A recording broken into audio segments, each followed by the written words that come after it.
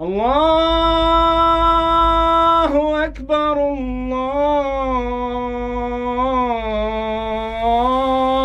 أكبر. أشهد أن لا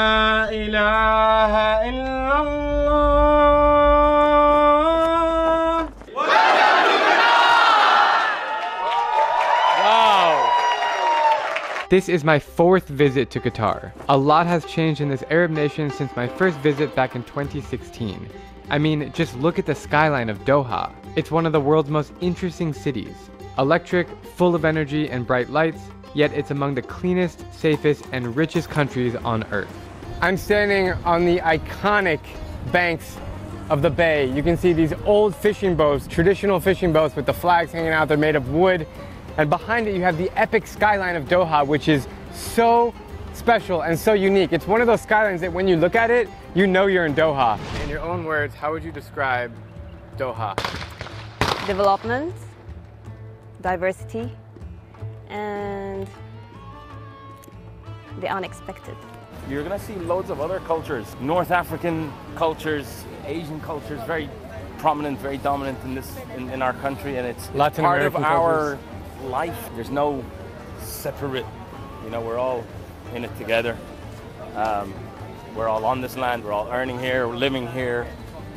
You know, Doha is very small. Everybody knows everybody, so it's very like a peaceful like society here.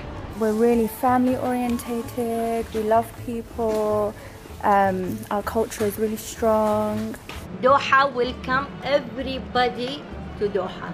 For the last 12 years, Qatar has been preparing to be the first Middle Eastern country to host the FIFA World Cup, and it's happening this month. The hype on the streets is building, and it's a surreal time to visit in the wake of the world's most premier sporting event.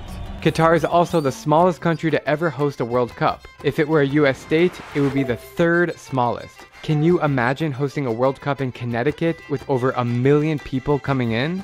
Behind me is one of the eight World Cup stadiums, and it's actually made up of 974 cargo containers because the country code of Qatar is 974. So after the World Cup, they're gonna take it down and they're gonna reuse the cargo containers. It's pretty cool. Despite its petite size, Qatar is strong and mighty because of its rich economy. The country sits on the third largest oil reserve in the world, and therefore, natural gas accounts for 70% of the country's total revenue. That explains why you'll see the most urban landscapes and world class museums. Behind me is the National Museum of Qatar. Uh, it's shaped as a desert rose, and it's worth uh, coming to visit. We have now the a temporary exhibition of Pipilotti Rist, a Swiss artist. It's like really nice with lights and such a soothing, relaxing place. Whoa. It's so, it's very pretty. Yo, this is cool.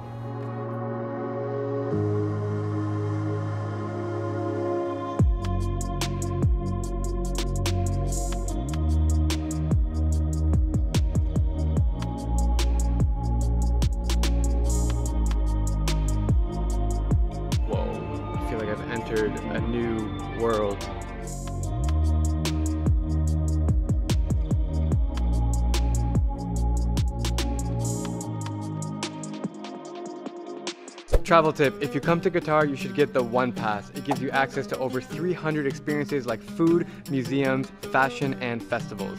And most of all, Qatar is safe. It was just ranked as the safest country in the world for the third consecutive year by the Numbeo Crime Index. So, what's it like to live in Qatar? It's amazing. So as I don't know if you know, it's super super safe. That's the Yeah. main like thing that I love about here. It's actually the safest country in the world. yes. Yeah. Yeah. Yeah. Have you ever experienced any situations here that made you feel unsafe? Never. Really? Never ever ever. Not once. Not once. Um, even if it's dark and I'm walking anywhere, like I don't even have to look behind my back. Like as a female or even as a male, like most countries in the world, walking at night in a place you don't know is not safe. Yeah. But here it's completely safe. Here is so safe. Let's talk about prices because this is a $10 video after all. Much like its neighbors of Dubai and Kuwait, Doha is very expensive.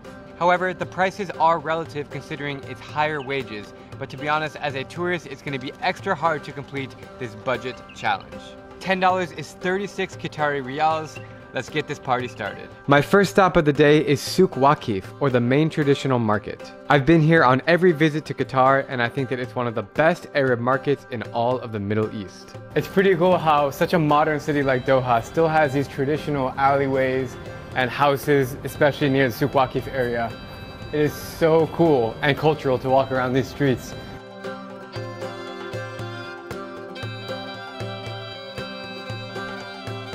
يا جبار يا جبار جبار الله Is this tea or نوتي جوس تمرين جوس tamarind juice?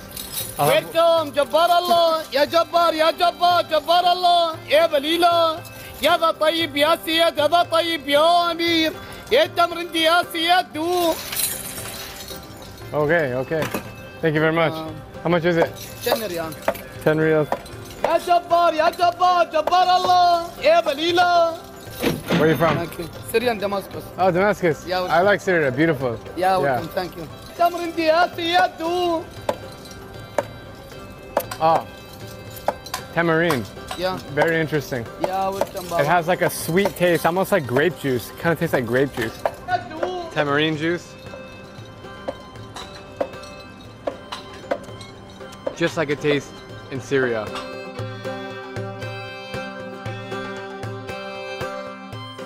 Right now, I'm gonna meet a local guy named Hamad. I've been recommended him by several people. Seems like a really cool dude. He's gonna take me around the market. What's up, man? Great to meet you. How's it going? How you doing? Very good to meet Yeah. you. Yeah. I'm good. I'm alive. Yeah. Just finished work. Alhamdulillah. Alhamdulillah. Look, you're brushing up on the Arabic. Yeah, well. yeah, yeah.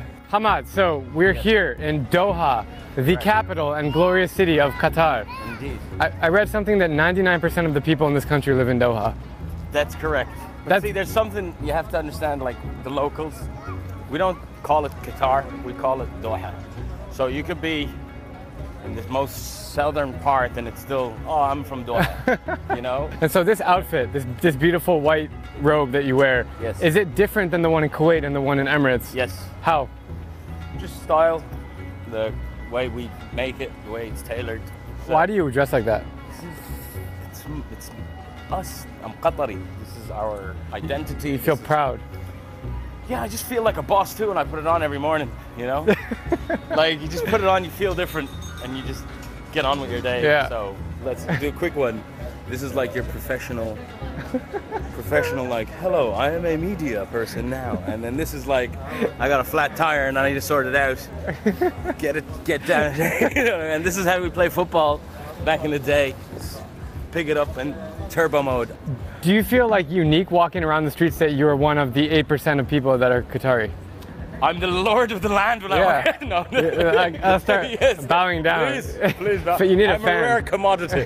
Thank you. No, um, it is a bit weird. Like it is, but then I got. I, I grew up abroad, but then when I come back here, I met people from all over the world, Yeah. which is super cool for me. What is this market? How would you explain it? Souk is the oldest market in the city, like the first market in the city of like modern Qatar and prehistoric, like pre-modern history of Qatar. Right. If you see the old pictures, around like 10 meters from where we are, that would have been all the waterfront. And boats would dock there, and they're typically spice merchants, pearl Okay. merchants, clothes merchants. So this has always been a marketplace, this, this land. yeah, it's always been the city, like if you think of the biggest market in the country, this would have been it. Everyone told me about you. I was like, I need to find this guy. like, is this, the man, yeah. this is the man, the myth, the legend. Right, so here Yeah. in Souk Waqif, these are all like local women who will cook at home and come and sell this food here. Amazing. So this is definitely you have to try it. It's all local food. Take me to get your favorite dish. Madrouba. Madruba. What is madruba? What is it? So the name means beaten up. Okay. That's what madrouba means. Beaten it means beaten up. madrouba. So it's uh, wheat, ghee, meat, and they just keep bashing Just it. bashing it. She bashes And, it. and then yeah, We'll try this. We're gonna have Madruba. I'll pay. that's like against everything that my culture stands Uh, okay. All right. We're Yes. gonna try the madroba. for. Come on, get in there with me. Me, okay. Come on, don't let me do it by myself. Cheers, bro. Cheers.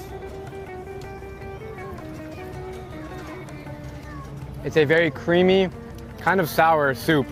Not soup. It's a stew. It's a stew, yeah. There's beans in it for sure.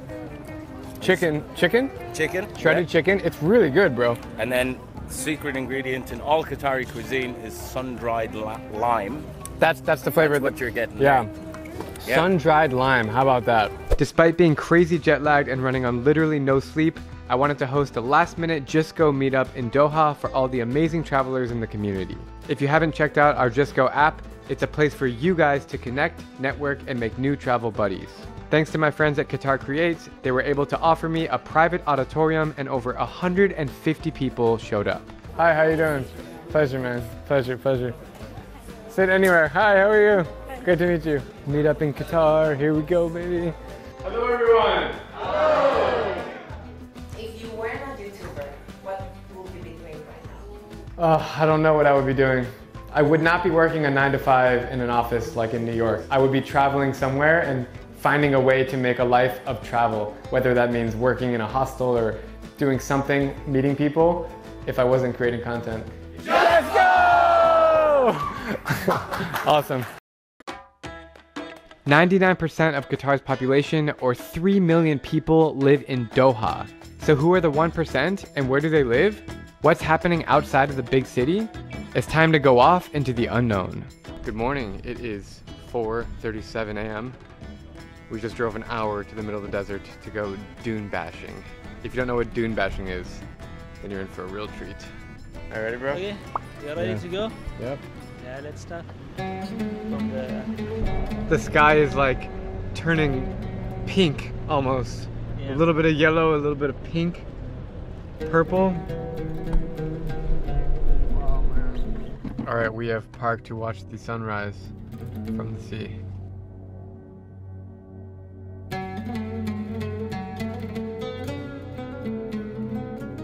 The last time I was on the sand dunes was in Iran, like seven, eight months ago. And before that was Saudi Arabia. Such a special time to just get out of the city and connect with nature and just, I mean, look at the sunrise behind me. Is that not the most beautiful thing you've ever seen in your life? Oh, so cool.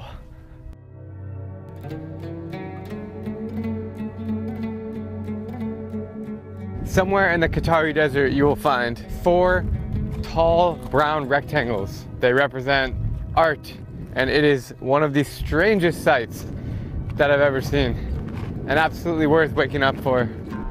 This is how fast we gotta go to climb the hill. Holy it's kind of scary. Actually, it's terrifying. Holy So Hale's a pro over here. He knows what's going on. Whoa! Holy crap! Damn! Woo! Good job, man. Dude, this, the thrill of that is absolutely outrageous, man. The whole car was covered in sand.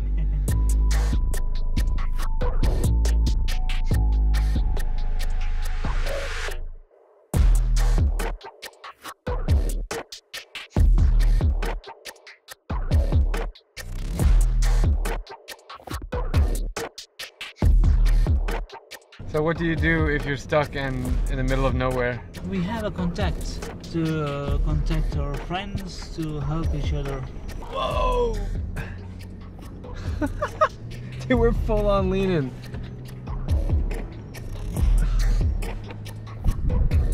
I'm out here in a little camp in the dunes and meet some people, see who's living out here. How are you? Good? Where are you from? You from Khartoum? I love Khartoum. I'm going to Juba, South Sudan tomorrow. Yeah. Yeah, Juba good. I'm going there tomorrow. Juba. Drew, nice to meet you. Drew. Nice to meet you. Salam alaikum. Drew. Nice to meet you, man. ما بتكفينا هذا True. شوية شاي Drew. For you. You first. Thank you, thank you. Oh, it's it's uh spicy. Like masala tea. How how long have you lived out here in the desert? أنا يمكن عشرة سنة بس هذا المكان هو في على ذاك يمكن عشرين سنة And is, is it too hot? They said they have their own cars. They go to city and bring the things here to make by their own. 99% of the people in Qatar live in Doha. So it's really interesting to meet the 1% who live outside of the city. They're missed because of uh, they are uh, staying in the desert and their habit now to stay in the desert. When they go to the city, they are feeling bored. Behind me is a kind of settlement that they hang out in right here. Tea kettles right there. Electricity right here. Lights up there. And uh, chairs. Chairs to chill on.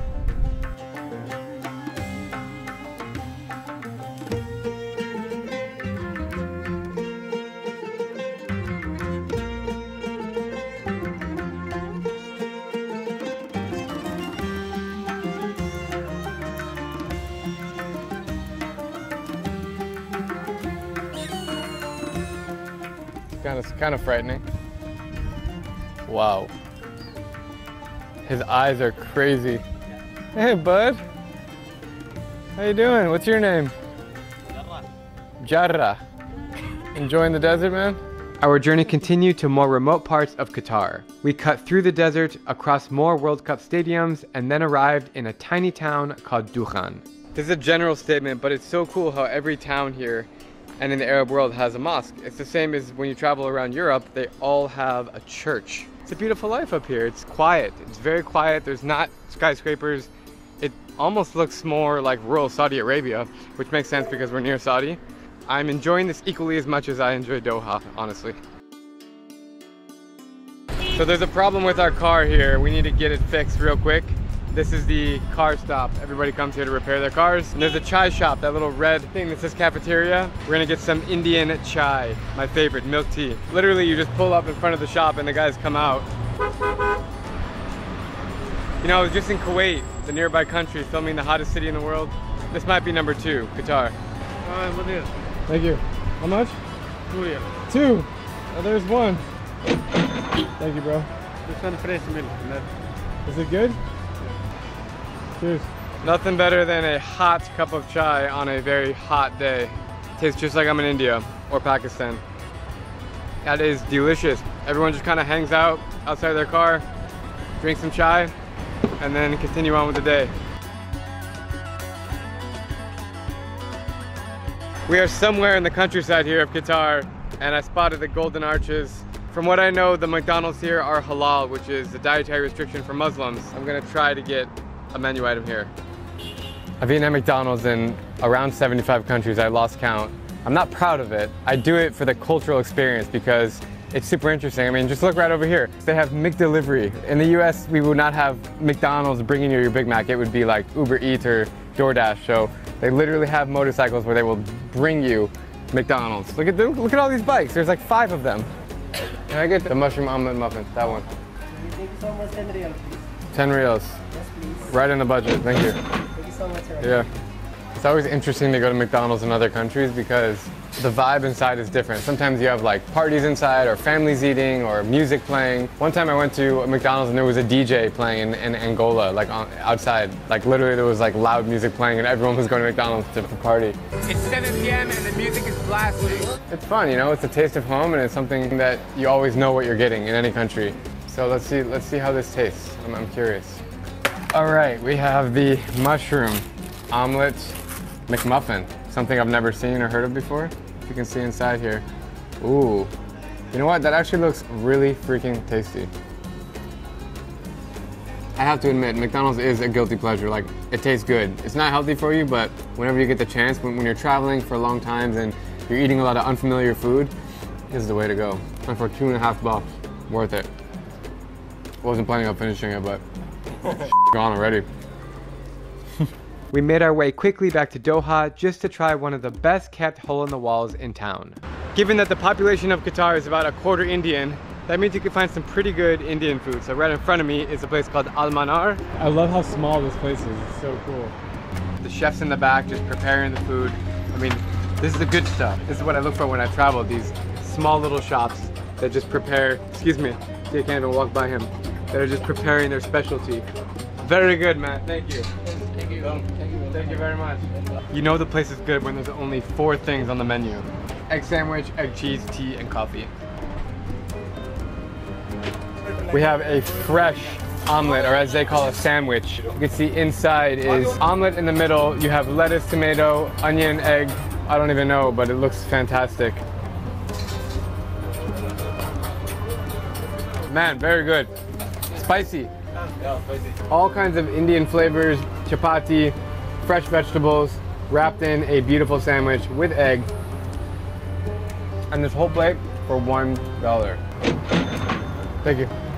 Hamad, we've been driving for God knows how long, like almost two hours now. Like, where are we going? We are going to an abandoned village of Jumail. So we are in the northwestern part of Qatar, Yes. which is far away from Doha. Yes. It's a small country, but we, we gotta drive out here. It's, Yes. it's a drive. I always wondered, like, what do Qataris do when they're not in Doha? Well, they get out into the desert. And we camp, we go fishing, enjoy the beach. Uh, off-roading is a wonderful pastime because obviously we're all rich and have loads of money. So we just buy expensive toys. No, but yeah, some some of that is true.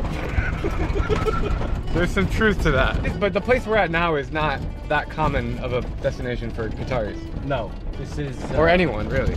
And I mean, it's our history. Uh, this is what Qataris used to live like, and this is what a typical Qatari village was. Let's go learn about this place from the one and only. Anzivasa! Do you know what I feel like? What do you feel like? I feel like a bit of an angel. Yeah. If, if I kind of stand like this, I feel like I'm floating above the earth. I feel like an angel too. What an amazing way to end this Qatar road trip at the ruins of Al Jumail, an abandoned pearl and fishing village that was inhabited by the Al Qubaisi family over 200 years ago. Today, you can find the remains of the traditional houses with doorways and parts of the walls preserved. If you ask me, it's outstanding. This is the mosque. This is where they pray. Okay, This is so uh, the prayer room. So Hamad is gonna do the call to prayer Yeah, at the mosque, in the minaret. and we're gonna pretend like we're living 100 years ago. Imagine it was your job to get up here Yeah. five times a day and do the call to prayer. In the 19th century, the average height of a male Qatari was two foot four. Look at the size of those steps. So we are climbing up the minaret, which is really, really narrow. And this is not made for tall people. And I'm not tall. That's the funny thing. This is not made for someone our size. Right, so this is where you do the call to prayer and you can see the whole village from here. So Allahu Akbar, Allahu Akbar, Allahu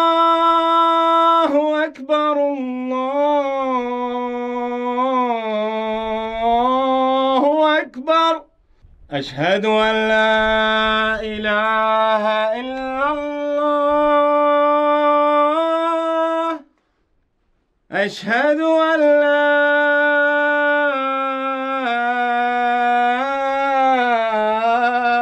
إله إلا الله. أشهد أن محمدا رسول الله. أشهد أن محمدا رسول الله. حي على الصلاة.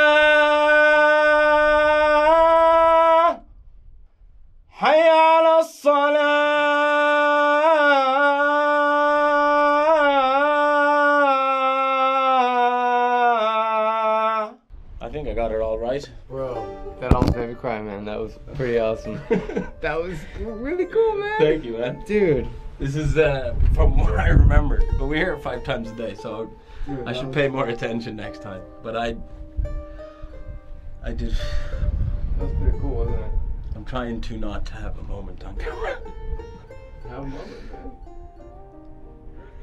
I, I wasn't ready for it, and now it's kind of hitting me. So It's alright. Emotions are good, man. yeah, yeah, I feel like connected to something greater. That's awesome, man. Yeah. It's really cool.